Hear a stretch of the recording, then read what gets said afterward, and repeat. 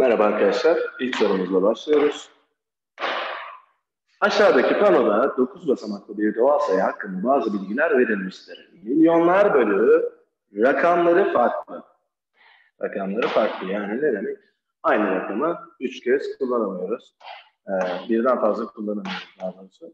Milyonlar bölü olduğu için şu şekilde 3 bölüklü çizdim. Milyonlar bölü neresi? Burası. Rakamları farklı, 3 basamaklı. 3 basamaklı olduğu için 0 ile başlayamayacak tabii ki. En büyük çift doğal sayıdır demiş arkadaşlar. En büyük olması için sola ne yazmam gerekiyor tabii ki? En büyük rakamı yazmam gerekiyor. 9. Rakamları farklı olduğu için buraya 8 yazmam gerekiyor. Çift dediği için buraya 7 değil. Ne yazarsam daha mantıklı olur? 6 yazarsam daha doğru olur.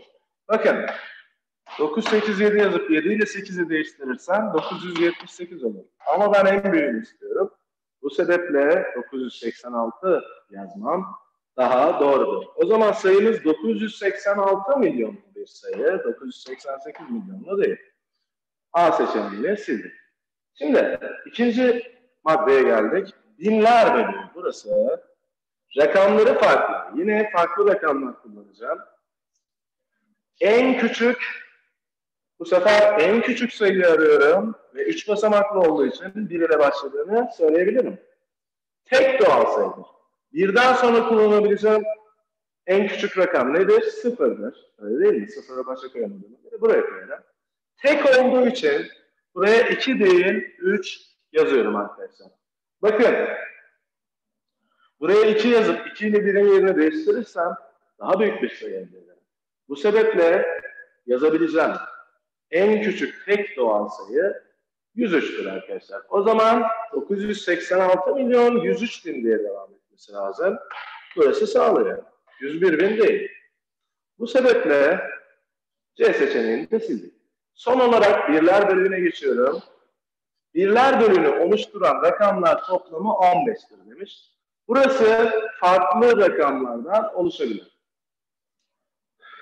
Şimdi seçeneklere bakayım. Birler bölüğü burası değil mi? 960. 9 6 daha 15 sağlıyor mu? Sağlıyor. Şuraya bakıyorum. 950 burası birler bölüğü. 950 nedir? Rakamlar toplamı 14'tür. Bu sebeple bu da olamaz. Zaten cevabımız B oluyor. Bu. İkinci soruyla devam ediyorum. Aşağıda üzerinde rakamlar yazılı eş karelerden oluşmuş renkli şeritler verilmiş. Görüyoruz. Kırmızı şerit, mavi şerit ve sarı şerit. Kareler eşmiş arkadaşlar. Yani boyutları aynıymış. Şimdi seda şeritlerde yan yana bulunan. Bakın yan yananın altını çizmiş boşuna değil. Yani bu kelimeyi soruyu çözer, çözerken kullanacağız arkadaşlar bulunan karelerden üçünü tek parça olacak şekilde kesiyormuş. Yani arkadaşlar şöyle bir şey yapamıyor yani. Buradan biri alayım, buradan altıyı alayım, buradan yediyi alayım şeklinde bir şey yapamıyor arkadaşlar. Yani şuradan keserse ya 105'i alacak ya da şuradan keserse 808'i alacak şeklinde yorumlayabiliriz bu cümleyi. Aşağıdaki kurallara uygun 9 basamaklı en büyük doğal sayıyı oluşturacak. Şimdi kurallar neymiş bakalım. Kırmızı şeritten alınan parça milyonlar bölü. Şimdi en büyük sayı için elde edeceğim en büyük 3 basamaklı sayıyı elde etmem lazım. Şimdi bakın. Farklı seçenekleri bir göz atalım. Eğer ben şuradan kessem 3 basamaklı alacağım sayı nedir? 768. Büyük bir sayı. Fakat bakın burası 7 ile başlıyor. Şu iki aralıktan kessem peki 808. Değil mi? 8 ile başlıyor. Daha büyük. Daha farklı, daha büyük bir sayı 8 ile başlayan oluşturabilir miyim diye bakıyorum. Şuradan başlasam 810. Bakın 800'ü iki tane sayı alabilirim. Ya 810 ya 808. İki farklı şekilde kesebilirim. Hangisi daha mantıklı? 810 daha mantıklı çünkü daha büyük arkadaşlar. O zaman buradan 810'u kestim arkadaşlar. Milyonlar bölü 810. Mavi şeritten alınan parça binler bölü. Binler bölü. Yine aynı mantıkla ilerleyeceğiz. En büyük sayı. En büyük rakamla başlayan 7'yi alabilir miyim burada? En büyük rakam bu var. O zaman buraya 710'u yazsam daha mantıklı olmaz mı? Daha farklı bir şey kesemem zaten. Şuradan kessem 471. Buradan kessem 347. Buradan kessem 530. Başka bir ihtimalim yok. O zaman binler bölüğü de 710 oldu. Sarı şeritten alınan parça da birler bölüğü. Sarı şeritten en büyük alabileceğim 9 ile başlayan sayılardır. 9 var çünkü burada. Hangisi daha büyük? 983 daha büyük. O zaman buradan da 983 aldım. O zaman oluşturacağım sayı nedir? 810 milyon 710 bin 983'tür arkadaşlar. Buna göre oluşan bu sayı hakkında verilen bilgilerden hangisi yanlış? Birler bölümündeki rakamlar toplamı 20'dir demiş. Bakıyorum 9, 8 daha 17, 3 daha 20. Doğru. 10 milyonlar basamağı. Milyonlar bölümüne geldim. 10 milyonlar burası. Buradaki rakam 1'dir demiş. Evet. Binler bölümündeki rakamlar toplamı. Binler bölüğü burası. Nedir rakamlar toplamı? 7 bir daha 8'dir. Burada 12 olduğunu söylemiş. Tabii ki yanlıştır. 7 rakamının basamak değeri 7 700 bindir demiş. 7 rakamı nerede? Burada. Burası 100 binler basamağı. 7 çarpı 100 bin. Bu da doğru. Bu sayıklayacağımız şeydir arkadaşlar.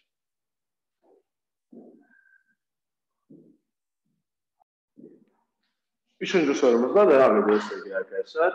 Üzerinde rakamlar yazılı olan 6 kırmızı 5 mavi topun büyüklükleri birbirine eşittir. Toplardan 9 tanesi rastgele seçilip soldan sağa doğru yan yana dizilerek. Aşağıda gösterilen 9 basamaklı doğal sayı oluşturuluyor. Gördüğünüz gibi arkadaşlar burada önemli olan nedir? Kullandığımız topun rengidir arkadaşlar.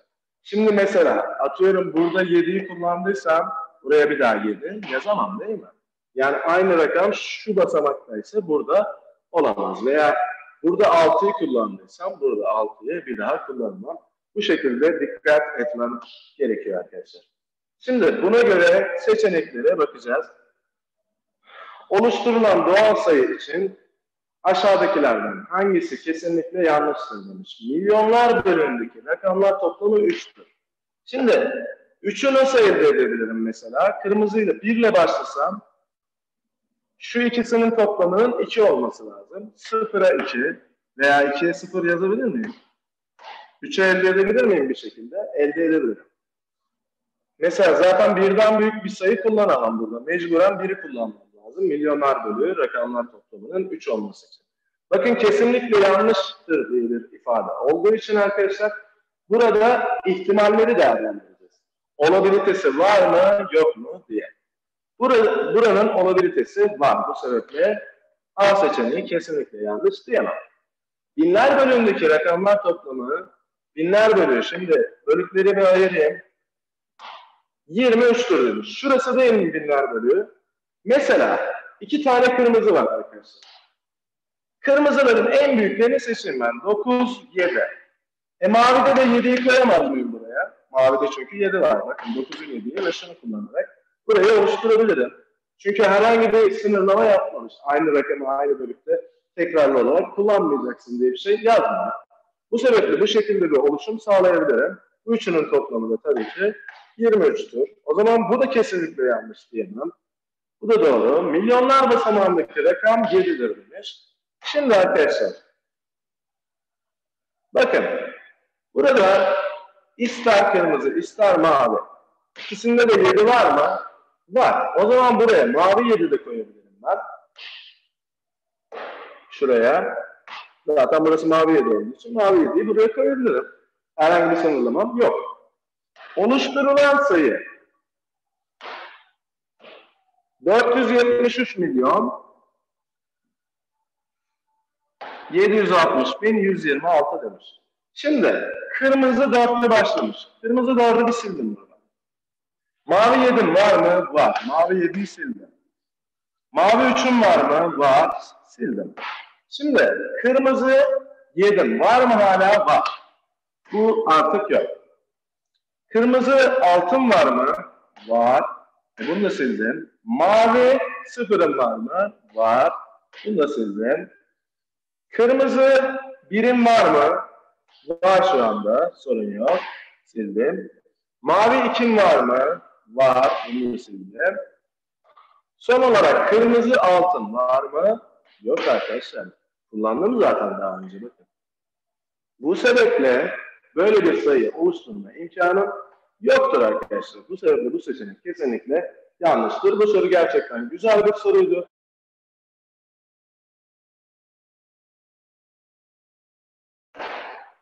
Dördüncü sorumuzla devam ediyoruz sevgili arkadaşlar. Üzerinde rakamların yazılı olduğu. Kırmızı, mavi ve sarı renkli küplerin her birine üçer atış yapılıyor. Şimdi görüyorsunuz farklı farklı renklerde küpler var. Ayrı ayrı dizilmişler. Her birine üçer atış yapıyormuş. Şimdi atış yaptığında ne olacak? Ee, denk gelen küpler devrilecek. Öyle değil mi? Şimdi kırmızı küplere yapılan üç atışta Kırmızı küplere 3 atış yaptım. Devrilen küplerin üzerindeki rakamlar birler bölümü. Şimdi burası birler bölümü. Tamam. Mavi küpler binler bölümüne, e, doğal olarak sarı küplerde milyonlar bölümüne yazılacaktır arkadaşlar. Burada onlardan bahsediyor. 9 basamaklı bir doğal sayı elde edeceğiz. Bana elde edebileceğim en büyük 9 basamaklı sayıyı soruyor. O zaman elde edebileceğim en büyük rakamları seçmem gerekiyor her bölümde. O zaman bu arada dev, devirdiğimiz küpleri seçeceğiz. Yani kalan küpleri değil. Çok da önemli değil aslında. Şimdi şuradan başlayayım. En büyük 9'u alırım. 9'u 9 gitti artık. Daha sonra 8'i alırım. Rakamları farklı tarzı bir şey görüyor musunuz? Ben görmüyorum. Şu 8'i aldıysam ben bu 8'i de alırım. Birler bölü 988 olacak. Yani 988 ile bitmeyen bu seçeneği eledim. Bunu da eledim. Bunu. Cevabın direkt A olduğunu görüyorum aslında. Yine de diğer seçenekleri de değerlendirelim. Sayının tamamını bulalım. Şimdi binler bölümde elde edebileceğim en büyük üç basamaklı sayı. En büyük rakamlar burada 7'dir. 2 tane var kullandım. 7'ler gitti. Daha sonra 6'yı kullanmam daha mantıklı. 776 bin olması lazım. Burası doğru. E burası da doğru. 776 bin. Ama bunlar zaten gitmişti ama yine de çözüm aşamasında bakıyoruz. Tamam. Son olarak milyonlar bölümünde en büyük rakamım nedir? 8. 8'den sonra 7. 7'den sonra 4 var. Öyle değil mi? O zaman 874 milyonlu bir sayı olduğu için şu ikisi de gidiyor. Zaten B'de en başta demiştik. Cevabımız A oluyor sevgili arkadaşlar. Beşinci soruyla devam ediyorum. Bir ürünün satış fiyatından alış fiyatını çıkarırsam kârı bulurum. Markette satılan bazı ürünlerin fiyatları verilmiştir. Pirinç arkadaşlar kilosunu 4 liraya alıyormuşuz. 5'ten 1 bölü 2 liraya satıyormuşuz. 5'ten 1 bölü 2 4'ten büyük olduğu için doğal olarak ne yapıyoruz? Kâr ediyoruz. Bulguru 3 liraya alıp 17 bölü 4 liraya satıyormuş.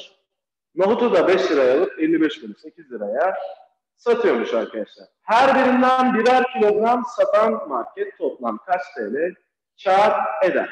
Bunu iki farklı şekilde çözebilirim. Birincisi arkadaşlar her birinin birer kilo fiyatının önce alışını sonra satışını toplarım. Aradaki farka bakarsam kar eder. Fakat ben alışla satış arasındaki farklara ayrı ayrı bakarsam her birinde bir kiloda ne kadar kar yaptığını söyleyebilirim arkadaşlar. Şimdi burada kesirler gördüğümüz için kesirler arasında çıkarma işlemi yapacağım için bunu öncelikle bir neye çevireyim arkadaşlar? Bileşik kesire çevireyim. 5'ten 1 bölü 2, 5 çarpı 2 artı 1, 11 bölü 2 TL'dir arkadaşlar. 11 bölü 2 daha büyük olduğu için 4, 4'ü bundan çıkaracağız. Şimdi burada çıkarma veya toplama işleminde faydaların eşit olması gerektiğini biliyorum. O yüzden burayı 2 ile genişletip faydasını 2 yaptım. 11 bölü 2 eksi 8 bölü 2 3 bölü 2 TL kar yaptığını söyleyebilirim burada. 1 kilo sattığımda. Eğer 2 kilo satarsa 3 bölü 2 artı 3 bölü 2 6 bölü 2 TL kar edecektir. Şimdi bunu böyle bulduk. Şimdi ikinciye bakıyorum. Bu sefer bulmam gereken fark 17 bölü 4 eksi 3'tür. Bu zaten bileşik kesir. Herhangi bir değişiklik yapmama gerek yok. Ee, 3'ün gizli paydası 1'dir. Bunun paydasını 4 yapmam gerekir. Yaparsam 17 bölü 4 eksi 12 bölü 4. Burada da yaptığı kar çıkarırsam bunları 5 bölü 4 TL'dir.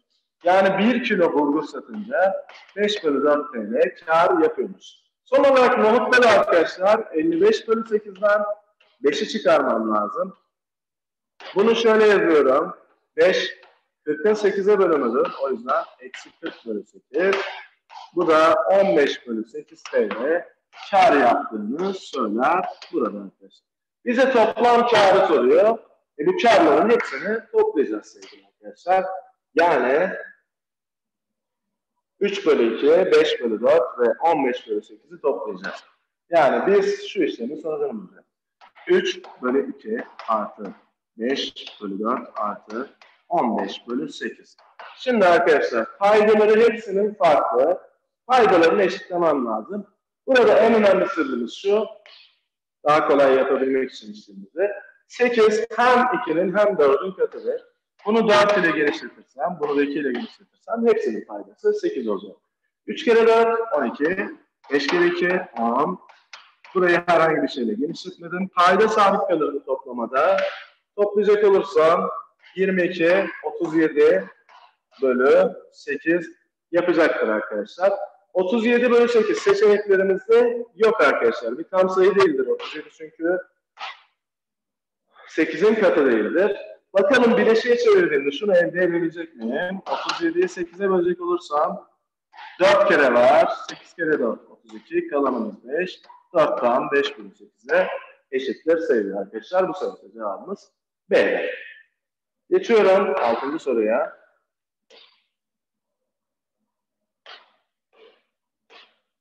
Evet, aşağıda gösterilen balığın gövde uzunluğu 720 milimetredir. Bakın, nerenin uzunluğunu verdiğine dikkat etmem gerekiyor. Gövde demiş, dikkat edecek olursanız.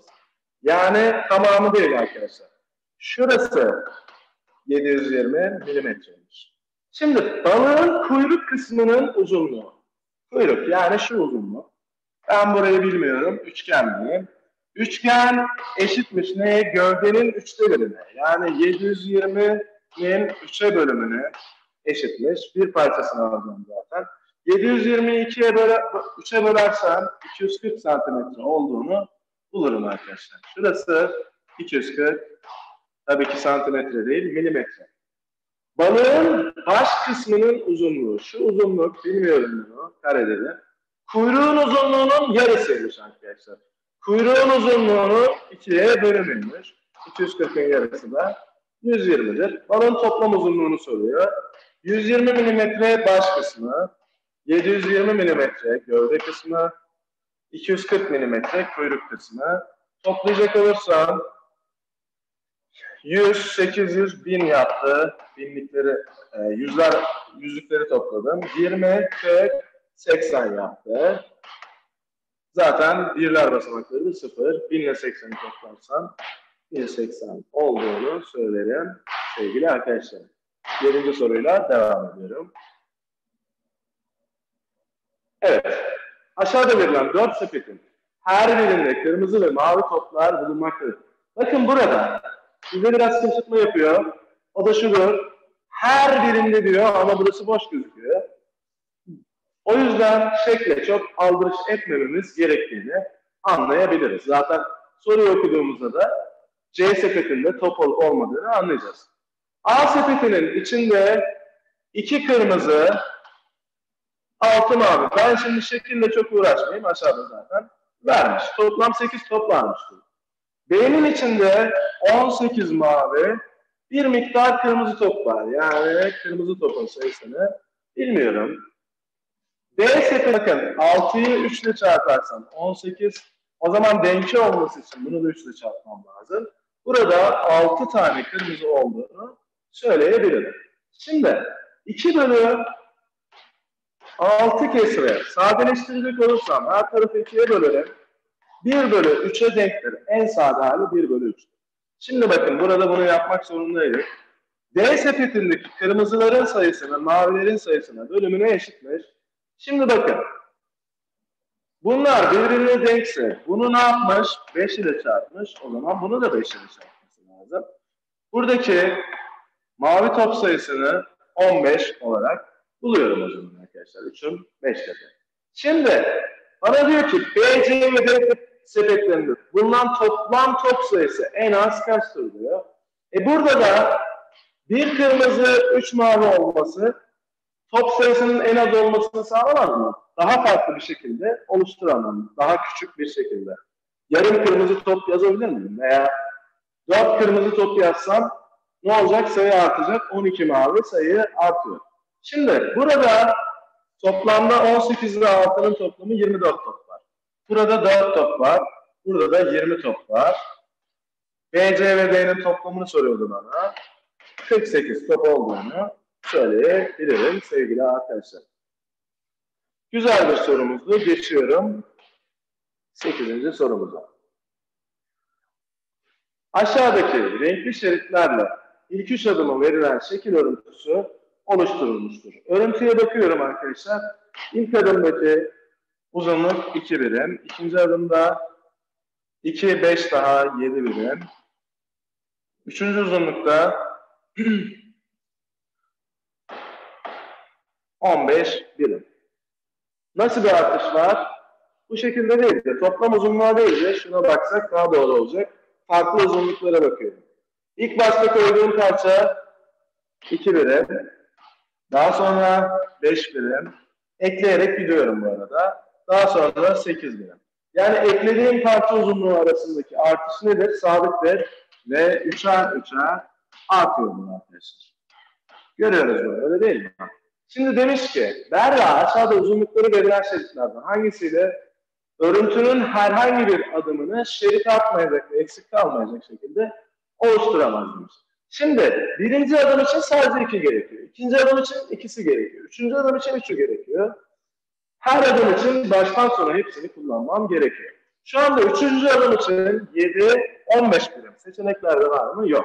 Dördüncü adım için 11 birim daha eklemem gerekiyor. Burası 15'ti. 11 ekledim. 26 birimle dördüncü adımı oluşturabilirim arkadaşlar. Şimdi 11'den sonra 14 birim daha eklemem gerekiyor. Şurası 26 idi. 14 eklersem 40 birimle 5. adımı oluştururum arkadaşlar. Şimdi 3 daha arttı. 17 santimlik bir parça daha ekledim. 40 17 ekle. 57 birimle 6. adımı oluşturuyorum arkadaşlar. Bakın 39 arada kaldı zaten. Bakalım 77'yi de oluşturabiliyor muyum? Üçer üçer artıyordu. Bir sonraki ekleyeceğim parça 17'nin 3 fazlası 20 olacak. Şurası 57 idi. 20 eklersem 77 birimle de 7. adımı tamamlıyorum. Ama 39 birimde 1 santim eksik kalıyor. Kaçıncı adım için? Beşinci adım için. Dördüncü adım için ise arkadaşlar fazla geliyor. Bu sebeple cevabımız B'de. Güzel bir soruydu. Dokuzuncu soruyla devam ediyorum. Kenar uzunlukları 16 bölü 5 ve 4 tam 3 bölü 7 birim olan bir dikdörtgen yanda verilmiştir. Dikdörtgen her bir doğal sayı arasındaki mesafe bir birim olan sayı doğrusu üzerine aşağıdaki gibi iki farklı şekilde yerleştirilmiştir. Buna göre sayı doğrusunda verilen B noktaları arasında iki farklı B noktası vermiş. Bu ikisi arasında kaç tane doğal sayı vardır diye soruyor bana. Burada benim yapmam gereken öncelikle şu uzunlukların hangi tam sayıya tekabül ettiğini bulmak. Öncelikle şu uzunluğun 16 bölü 5 olduğunu biliyoruz değil mi? 16 bölü 5'i tam sayılı kesime çevirecek olursam hangi iki tam sayı arasında olduğunu bulabilirim arkadaşlar. 16'da 3 tane 5 vardır. Kalan 1'dir. O zaman 16 bölü 5 neye eşitmiş? 3 tam 1 bölü 5'e eşitmiş. Yani 3 ile 4 arasında bir uzunlukmuş bu arkadaşlar. 3'ten birazcık fazla olduğu için burası şurada bir 9 vardır. Şurada da bir 10 vardır. Değil mi? 9 ile 10 arasında burası. Şimdi o zaman 10 ile başlıyor buradaki doğal sayılarımız. Şimdi şuraya bakıyorum. Şu uzunluk değil mi burası? 4 tam 3 bölü 7. Yani 4 ile 5 arasında büyük değer. Yani 20'den buraya doğru gittiğimde 4'ten birazcık fazla azalıyor. Burası 16'dır. Burası 15 ile 16 arasında bir sayıdır. O zaman burada 15 vardır. Burada kaç tane doğal sayı var diyor. 10 ile 15 arasında 10, 11, 12, 13, 14 ve 15 vardır. 6 tane sayımız vardır. Sevgili arkadaşlar bu sorumuzda bu kadar da 10. soruya geçelim.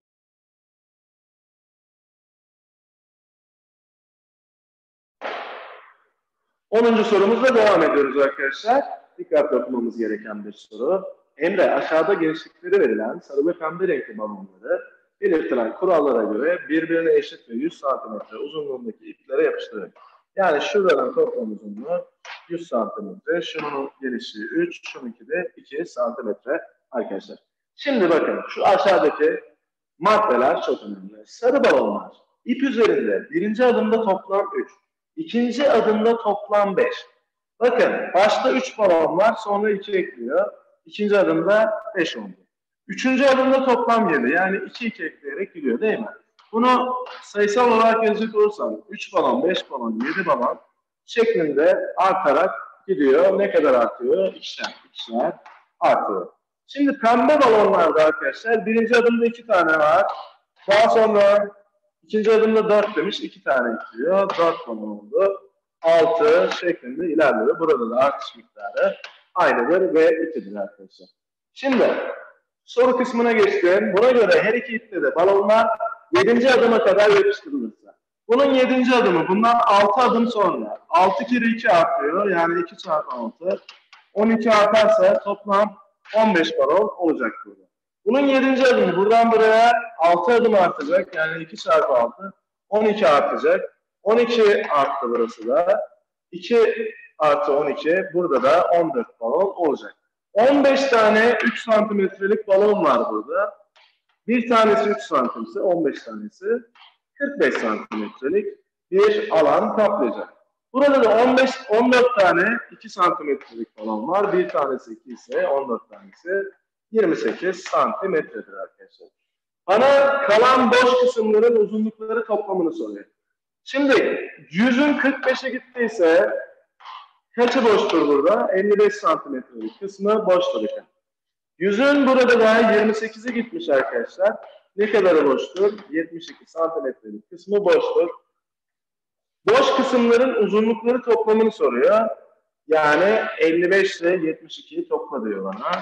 55 ile 72'yi toplarken 50 ile 70'i topla 120, 5 ile 2'yi topla 7, 127 santimetre olduğunu söylerim sevgili arkadaşlar. Bu sorumuz da bu kadardı.